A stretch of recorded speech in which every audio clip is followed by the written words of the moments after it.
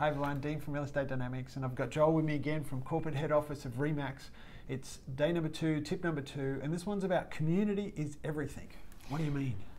Okay, uh, so these days I think, well, the industry is, is really changing very, very quickly. Yeah. Uh, if I look at a lot of our top performers in our network, Mm-hmm. whether they be business owners, whether they be salespeople, property managers, uh, one of the common trends amongst them all is that they are embracing uh, very, very closely a community. They're active in it, they are assisting it, they are adding to it, and it is helping and benefiting their business as a result of that.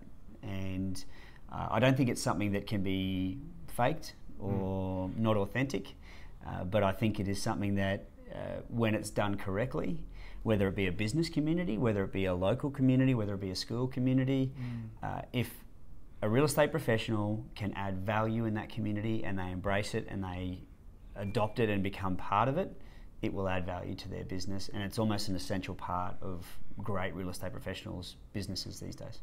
Yeah, I've seen that really, really well with you know local football, Mhm. local soccer, um, and they're actually down there in in and amongst it, answering questions if they're asked, but they're also just part of the community. So hence they're embraced, which I think is a great thing. Because also local sporting people are always chasing money Mhm. as far as to try to help them to because they're volunteers to help through that. So Yeah. that's a really good point. That community is even becoming more important, and them embracing that is a great point.